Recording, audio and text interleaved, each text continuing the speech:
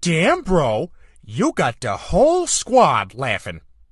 Hey, you! Fuck off!